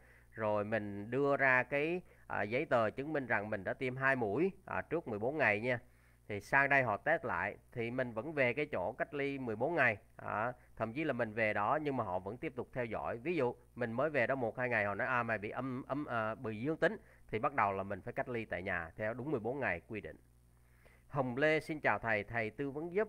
Học IT thì college ở thành phố Mississauga hoặc là Toronto trường nào có thế mạnh? Ồ, ở Toronto có rất nhiều trường cao đẳng. À, thống kê là ở quanh cái khu vực Toronto với là các thành phố phụ cận. À, Mississauga thì có trường cao đẳng à, Sheridan này rồi một chi nhánh của trường Mohawk. Cũng à, Mohawk là cơ sở chính của họ ở thành phố uh, Hamilton thì họ cũng có uh, đặt một cái trụ sở tại thành phố Mississauga ở cái khu uh, Square One uh, cao đẳng uh, Sheridan. Rồi ở gần Toronto thì có uh, rất nhiều các cái trường cao đẳng công lập. Và mỗi trường như vậy thì uh, họ có cái thế mạnh riêng. Tuy nhiên nếu mà IT á à, thì những cái trường IT thực ra không phải là một cái cái ngành gì quá đặc biệt mà thực ra là cái ngành rất phổ biến. Rất nhiều trường dạy à, Sheridan cũng có rồi à, Seneca à, rồi Humber. Nói chung ngành IT là một ngành phổ biến và cái sự khác biệt nó nằm ở cái chỗ là người học chứ không phải là cái trường dạy.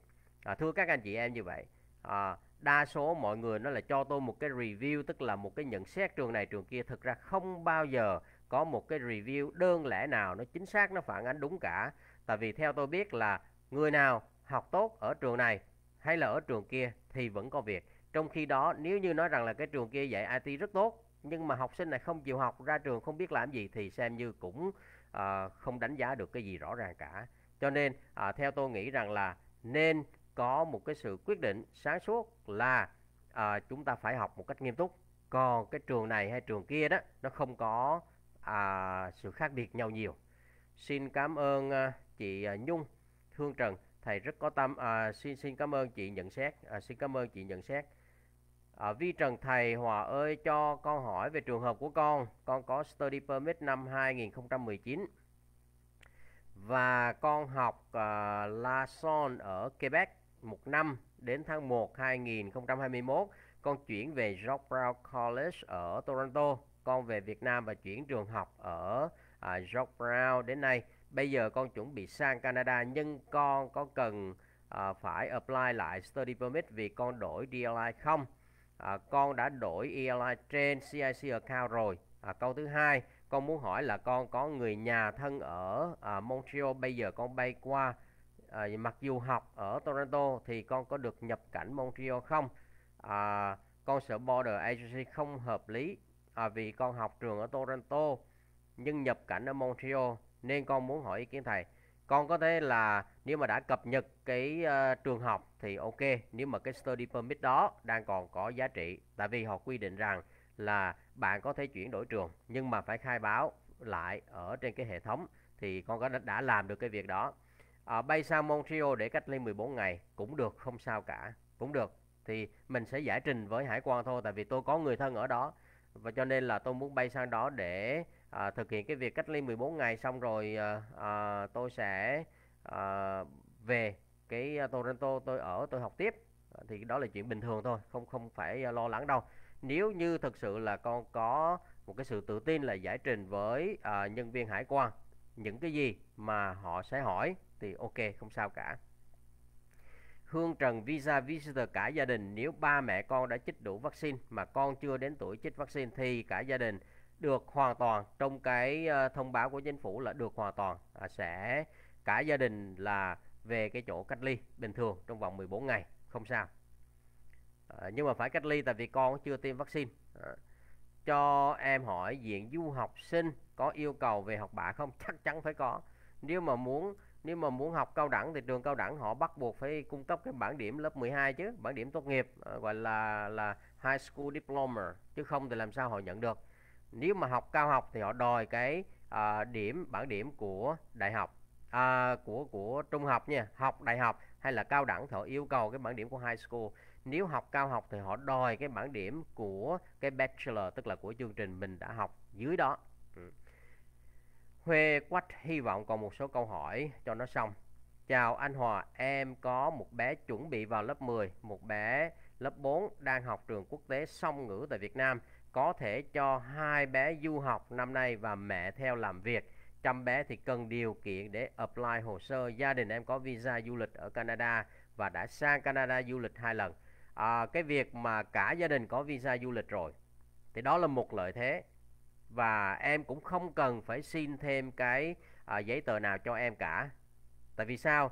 Tại vì à, cái quan trọng nhất là hai đứa nhỏ nó thay đổi cái tình trạng. Từ visa du lịch thì bây giờ xin cái visa du học cho cả hai bé vấn đề là phải chứng minh với chính phủ rằng là mình đủ tài chánh để cho hai đứa con nó đi du học một lần. Rồi còn em sẽ đi theo với cái visa du lịch. Em nhớ là như vậy nha. À, mình phải xin. Đó. Cái cái bé lớp nhỏ đó mới lớp 4 thôi. Giả dụ như bây giờ này à, mình kéo nhau cả nhà sang mà họ à, gọi là yêu cầu á là cái bé lớp 4 này phải có một cái người giám hộ thì em vẫn phải xin cái người giám hộ tại Canada tức là ủy quyền cho một người uh, dân thường trú hoặc là quốc tịch ở Canada làm giám hộ. Và em đi sang đây để và gọi là với visa du lịch là thăm con thăm hai con thôi. Và em sang làm việc em muốn làm việc thì phải gì em xin giấy phép.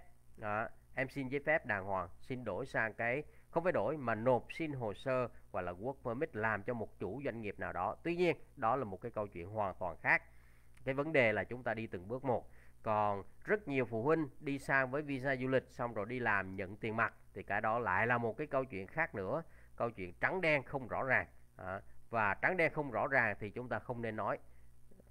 Thầy siêng quá phải siêng thì mới có học sinh được. Nhiều lúc ờ, là phụ huynh đó họ họ biết là thầy đang làm trong trường và họ gửi con em chứ còn không lên sóng như thế này thì phụ huynh không biết thầy Hòa là ai cả.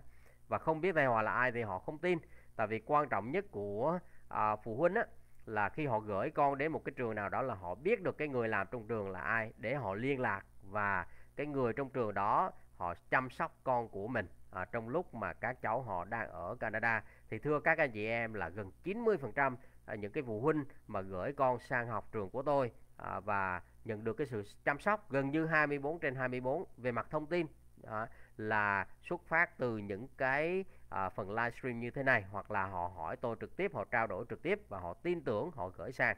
Và à, với một cái trường mà có một cái người tư vấn gọi là trực tiếp có một cái người mà có kiến thức có kinh nghiệm để chăm sóc con em của những cái người nước ngoài thì đó là một lợi thế gần như là tất cả các trường tư thục hay là thể kể luôn cả trường công họ đều mong muốn. Chẳng qua họ tìm không ra người thôi. À, Tuấn Huỳnh là làm bên uh, à, bảo hiểm và tư vấn về tài chính có giấy phép hẳn hoi. Dĩ nhiên các anh chị em nên nhớ rằng là những cái người làm về tư vấn á, là à, họ có chia theo khu vực. Ví dụ như tư vấn bảo hiểm thì à, một là họ đăng ký tại một tỉnh hai là họ đăng ký hai ba tỉnh gì đó hoặc là chia theo khu vực. Thì khi họ tư vấn là họ tư vấn theo tỉnh.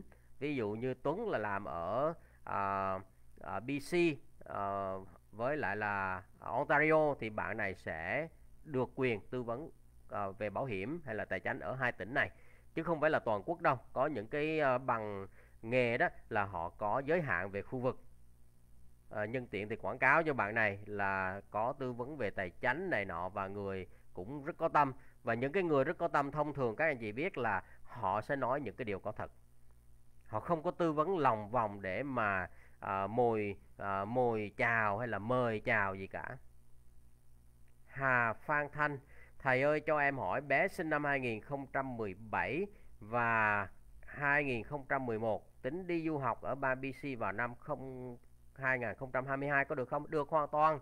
À, nhất là cái bé mà sinh năm 2017 là bây giờ ha 14 tuổi sang năm là 15 tuổi sang học lớp ờ, uh, 11 được hoàn toàn. Còn cái bé sau thì ờ, hơi vất vả chút tại vì ờ, tính ra mới có 11 tuổi. Thì mới học có lớp 5 lớp 6 mà xin hai bé một lần đôi khi là về tài chính nó sẽ khó giải trình lắm. Tại vì cha mẹ phải rất là giàu mới xin như vậy được. À, một đứa như vậy đi một năm là mất hết tệ lắm cũng phải là ba chục ngàn một em cả ăn cả ở học phí. Hai em nhân lên là 60 ngàn thì gia đình phải chứng minh là mình lo nổi. Nhưng mà thật sự đó là có rất nhiều gia đình họ dư tiền à, thưa các anh chị em như vậy có nhiều gia đình bạc tỷ bạc tỷ mà tôi nghe nó tỷ không là tôi rất là rất là là là à, gọi là sao? À, rất là ganh tị. À, nói ganh tị là cho vui thôi chứ chứ à, à, mỗi gia đình thì mỗi cảnh. Cho nên là chúng ta không thể so sánh. Nhưng mà thực ra là nói tới cái số tiền của nổi của chìm cho nên khi tôi tư vấn là tôi hay hỏi là của nổi là bao nhiêu? À, của nổi là có tài chánh là tiền. Tiền mặt là bao nhiêu? Tiền trong ngân hàng là bao nhiêu? Rồi của chim của chim có nghĩa là họ đầu tư họ có bất động sản này nọ là bao nhiêu. Nhưng mà nghe họ đọc ra cái cái là tôi giật mình luôn tại vì nó quá nhiều à, so với những gì mà tôi đang có.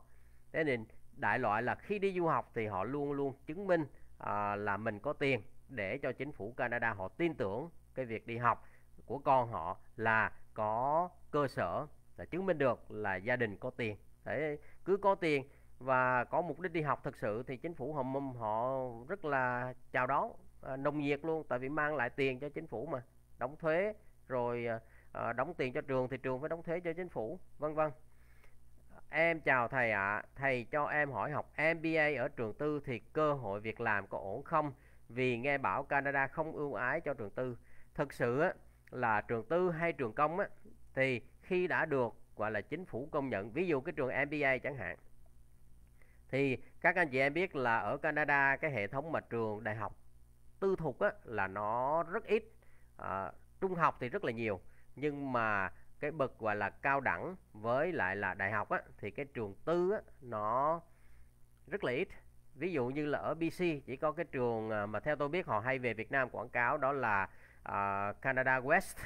Uh, thì có đào tạo cái chương trình MBA này đó là một cái trường tư nhưng mà tôi cũng có nói nhiều lần rồi khi chúng ta nộp đơn xin việc á, thì chủ họ chỉ liếc sang cái phần mà bằng cấp học vấn á, khoảng cỡ 5 10 giây thôi họ biết à cái người này tốt nghiệp như thế này người này có cái bằng MBA nhưng họ nhìn nhiều nhất đó là cái kinh nghiệm việc làm.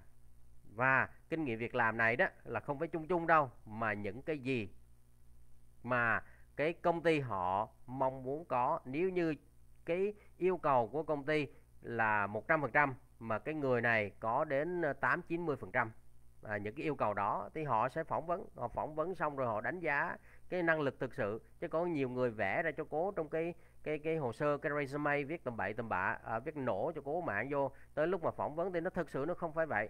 Rồi thậm chí là chúng ta nhận được việc nhưng mà vào 3 tháng uh, probation tức là cái thử việc không chứng minh được là mình có năng lực như là cái mà mình đã đưa ra. Họ cho đuổi việc là chuyện bình thường. Cho nên cái cơ hội việc làm á, là nó phụ thuộc vào những cái kinh nghiệm trước đây mình có. Là cái đó là cái chính.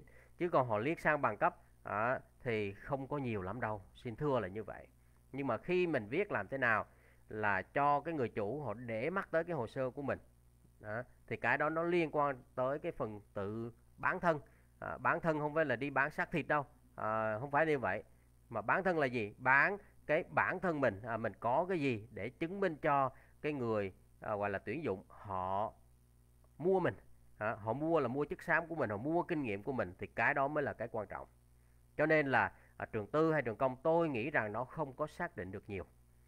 Và và chúng ta cũng biết đôi khi á, đi vì sao chúng ta chọn cái trường tư để chúng ta đi học? Tại vì điều kiện tuyển sinh có thể là nó dễ hơn mà không phải là có thể mà thật sự là nó dễ hơn. Ví dụ Canada West điều kiện tuyển sinh nó dễ hơn nhiều so với các cái trường đại học khác à, đại học công lập khác đại học công lập ví dụ như là trường Brock bây giờ họ đã yêu cầu master là phải có 7 điểm rưỡi trở lên IELTS. Đó, học lực với trên 80% trong à, uh, 2 năm cuối của đại học. Nó rất khó. Trong khi đó Canada West thì có thể là họ tạo ra những cái chương trình pathway tức là giống như dự bị vậy đó. À, yêu cầu có 5 điểm thôi và học phí nó cũng rẻ hơn các cái trường công lập. Thì cái này lại liên quan tới cái việc là gì? Chúng ta gọi là hướng đến cái giải pháp di trú là nhiều. Có nhiều người họ nói rằng là à, nộp hồ sơ để xin đi du học nó giống như cái việc là chúng ta mua một cái vé. À, và cái này là chúng ta chấp nhận à, gọi là đóng tiền để chúng ta có được cái visa đi du học. Sau cái du học chúng ta có tới 3 năm à, ở lại để làm việc và chúng ta tìm kiếm cơ hội trong 3 năm đó. Thì à, à, tôi phân tích rõ như vậy để cho các bạn có thể có thêm thông tin mà đối chiếu so sánh. Ngọc Quỳ em cảm ơn thầy Hòa. À, không có gì em. Hồng Lê Vân cảm ơn chia sẻ của thầy nhiều. À, xin cảm ơn. Có thể là tôi trả lời thêm một hai câu hỏi nữa tại vì à, thời gian chia sẻ nó đã quá nhiều rồi. Em à, à chào thầy. Có em có visa à, open work permit phụ thuộc vào chồng đang là du học sinh ở New Brunswick à, em sẽ bay vào ngày 21 tháng 8 và đã book khách sạn à, 3 ngày ở Toronto. Nếu luật mới này à, vậy em xin giấy lấy lại tiền khách sạn hôm có được không? À, em có được à, bay thẳng về New Brunswick cách ly 14 ngày hay không? À, cái này em phải liên lạc với khách sạn à, để để xin hủy đi. À, nếu như mà nó có cái chính sách gọi là à, refund à, để mà mình à, xin lấy tiền lại còn cái việc mà bay từ một cái sân bay lớn về New Brunswick thì uh, em uh, khi em mua vé đó em chọn là bay từ Việt Nam sang cái uh, sân bay uh, uh, quốc tế nào đó ở New Brunswick thì nó sẽ có những cái chuyến bay chuyển tiếp và em hỏi chính xác uh, là cái hãng bay đó như thế nào để xác định. Uh, hữu công uh, chia sẻ về học đại học uh, du học thì sao? Uh, anh hỏi một câu không rõ ràng à, cho nên là tôi xin phép không không có trả lời ở đây. Chia sẻ về học xong đại học đi du học thì sao? À cái này thì là cứ nộp hồ sơ xin đi, đi du học sau đại học thôi. Là đơn giản và tôi có cái tư vấn ở cái phần trước rồi. À, nó có những cái yêu cầu cụ thể. À, mình phải xin được cái trường ở bên Canada. Rồi mình xin giấy phép uh, nhập học. Rồi mình làm hồ sơ để du học. Thì hiện giờ có cái diện SDS đó, có yêu cầu là IELTS phải trên 6 chấm không có kỹ năng nào dưới 6 xin được một cái thư nhập học của trường đóng học phí trọn một năm rồi mua thêm cái chứng thư bảo đảm gọi là là GIC à, ở một cái à, ngân hàng có liên kết với à, chính phủ được chính phủ đồng ý để chúng ta làm cái thủ tục và nộp hồ sơ xin. Nhưng mà chúng ta à, đầy đủ những cái điều kiện đó rồi nhưng mà khi xét duyệt visa thì cái quyền quyết định tối cao là ở cái nhân viên xét duyệt hồ sơ chứ không phải là chúng ta đủ điều kiện như thế là mặc định chúng ta có được cái visa du học tại vì cái tỷ lệ mà họ từ chối à, những cái hồ sơ mà xin cái uh, du học này nó cũng tương đối cao chứ không có thấp đâu. À, Huê Quách cảm ơn anh Hòa rất nhiều. Hương Trần thầy cho em hỏi em thăm chị em chuyển qua à, du học. Thầy cho em hỏi qua học trường nào được hả thầy? Câu hỏi quá chung. À, trường thì bao la ở tỉnh nào? Học điều kiện uh, học vào chương trình gì? Nói chung là câu hỏi quá chung em học đại học ra một năm giờ muốn du học. À, thì ờ, thì những yêu cầu gì? À, kiểu như IELTS chữ IELTS em viết sai rồi. IELTS là I E L T S. Đó IELTS có nghĩa là một cái bài thi quốc tế đánh giá à, năng lực tiếng Anh. À, thì à, em phải à, ờ, có ít nhất là trên 6 điểm. Đó. còn nếu mà chưa đủ thì em xin được cái trường nhưng mà em phải chứng minh em có tiền để đi du học. À, nói chung đây là một cái à, à, lộ trình mà em cần tư vấn chi tiết. Tại vì à, so cái câu hỏi của em là câu hỏi rất cơ bản. Tại vì những cái thông tin này em có thể đọc được tất cả những cái à, à, từ những cái website chính thức của chính phủ rồi từ những cái trang à, bằng tiếng Việt cũng được em gõ lên là à, du học sau đại học hay là du học Canada bậc đại học hay là bậc cao đẳng thì nó sẽ ra rất nhiều các cái thông tin chung mà à, có ghi đầy đủ những cái yêu cầu. Quang Hải Phạm. À, tức là Phạm Quang Hải. À, chào anh Hòa tôi định cho con du học đại học tại trường Memorial University of Newfoundland tốt nghiệp đại học trường này xong có cơ hội xin PR có thuận lợi không? Có PR xong rồi về các thành phố khác ở bang khác tìm việc học tiếp có trở ngại không? Cảm ơn anh nhiều. Các thông tin anh chia sẻ rất bổ ích. Cảm ơn anh. Chúc anh sức khỏe và thành công. Xin cảm ơn anh. À, cái uh, à, phần này hình như là tôi đã có tư vấn ở trên rồi. À, nếu như mà xin ờ, định cư theo các cái chương trình mà của tỉnh bang đó thì ờ, uh, Newfoundland họ có cái chương trình uh, định cư theo đề cử của tỉnh bang uh, Newfoundland and Labrador. Cái tỉnh này nó rất là dài. Uh, Newfoundland and Labrador uh, họ thuộc cái uh, cái vùng gọi là Đại Tây Dương.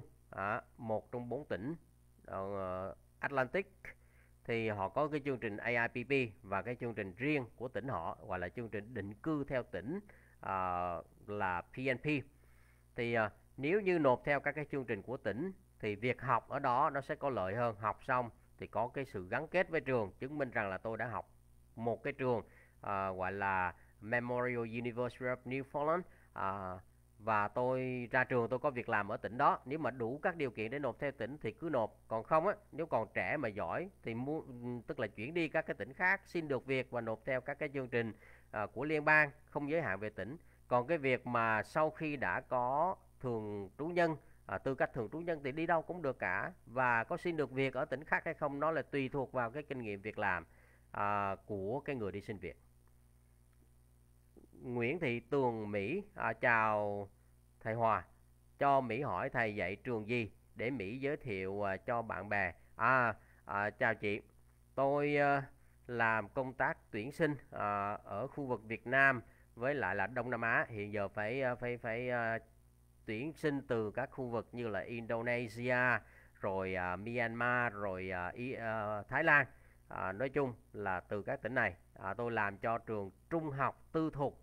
Đây là một cái trường trung học tư thục à, được hoạt động theo cái uh, chương trình của Bộ Giáo dục tỉnh Ontario và học sinh là từ lớp 9 cho tới lớp 12 nói chung các em nào mà hết lớp 8 bên Việt Nam thì có thể sang trường tôi để học.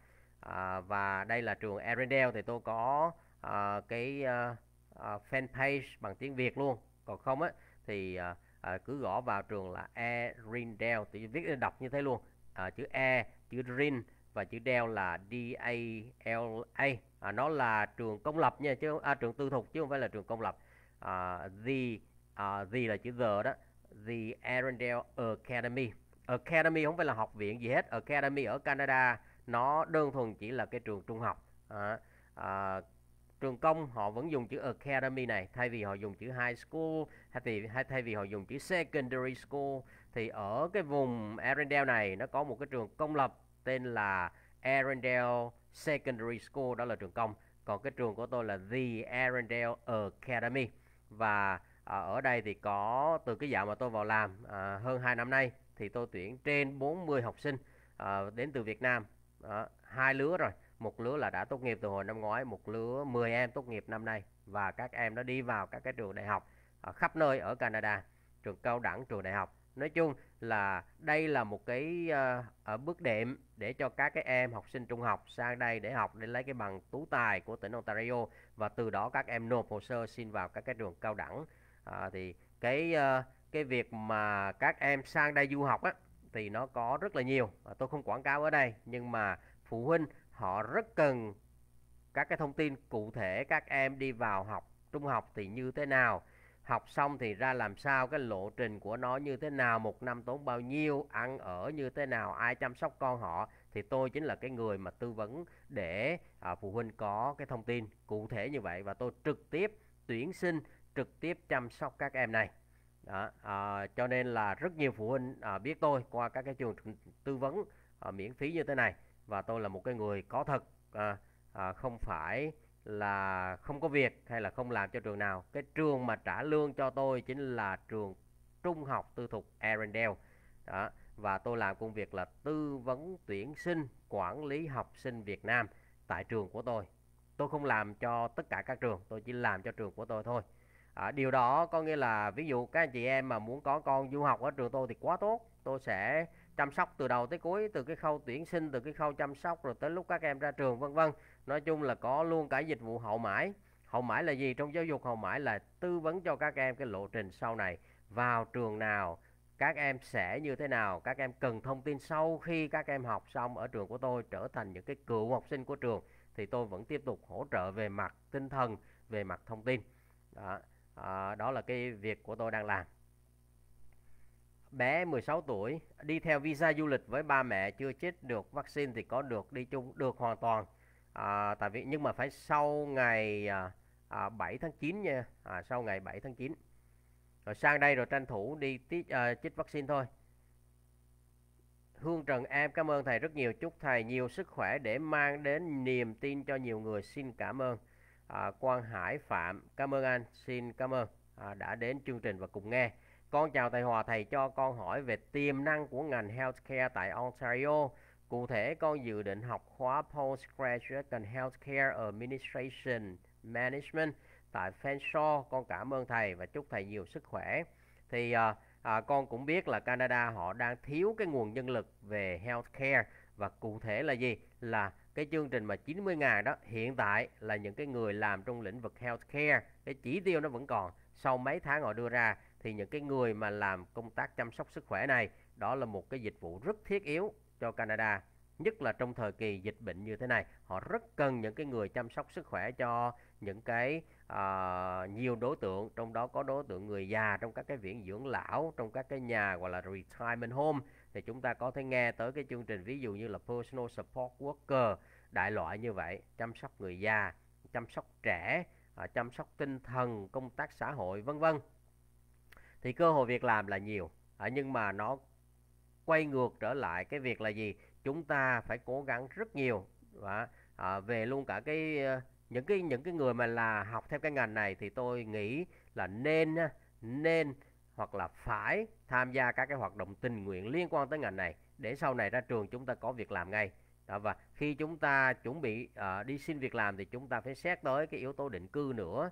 À, ví dụ như tỉnh nào vùng nào họ có lợi thế họ có cái chương trình dành riêng cho cái healthcare này. Và tôi biết là không chỉ riêng tỉnh Ontario đâu các cái tỉnh khác họ vẫn ưu ái và cả nước này vẫn ưu ái cho những người làm về chăm sóc sức khỏe. Cho nên em yên tâm cứ cố gắng học à, và mình cảm thấy là chăm sóc học sinh à, chăm sóc gọi là người già chăm sóc trẻ mình yêu thích cái nghề đó và mình chịu khó thì cơ hội của mình sẽ luôn luôn có. À, Nhã Linh xin cảm ơn thầy rất nhiều. À, như vậy tôi đã tư vấn đến bây giờ là gần 2 tiếng đồng hồ và trả lời rất nhiều các câu hỏi của các anh chị em. Thì uh, tôi xin khép lại cái chương trình tư vấn uh, mang tính chất là bao đồng như thế này. Vào sáng hôm nay hẹn các anh chị em ở một cái chương trình sau. Và như các anh chị em đã biết là cái kênh uh, gọi là cung cấp thông tin uh, hoặc là cái kênh mà tôi uh, tải hết tất cả những cái phần livestream này đó là kênh uh, YouTube Canada cần gì nói cùng tên luôn. À, tôi không có đưa vào những cái à, clip mang tính chất cá nhân ở trong đó mà toàn bộ là những cái buổi livestream của tôi và tôi tải lên đó để làm gì? Để các anh chị em khi cần thông tin cứ vào trong đó mà nghe hết. Nó giống như các cái bài uh, à, giảng đạo à, như cái bài gọi là à, thuyết pháp của các thầy các cô. Nhưng mà thay vì à, chúng ta nghe về triết lý cuộc sống về đạo đức về tôn giáo thì chúng ta nghe về thông tin Canada. Mà tôi hay nói đùa là gì? Là tôi đang truyền giáo Canada truyền giáo có nghĩa là tuyên truyền về giáo dục của Canada và có thêm một phần nữa là giải thích rồi cung cấp thông tin trung thực cho các anh chị em mà chưa hề biết gì về Canada hoặc là chỉ nghe qua những cái người khác họ quảng bá, quảng cáo, họ tung hô Canada và họ chỉ tung hô cái mặt tốt đẹp thôi thì tôi chính là cái người mà sẵn sàng chia sẻ với các anh chị em và cộng đồng về những cái uh, mặt trái của cái đất nước này chứ không phải là hoàn toàn tốt đẹp cả. Xin cảm ơn tất cả mọi người. À, xin cảm ơn tất cả các cái lời chúc mừng của các anh chị hay là các cái lời chúc sức khỏe. À, hẹn gặp lại các anh chị em trong một cái chương trình livestream khác có thể là vào tuần sau. À, tôi không chắc lắm. Xin chào và hẹn gặp lại.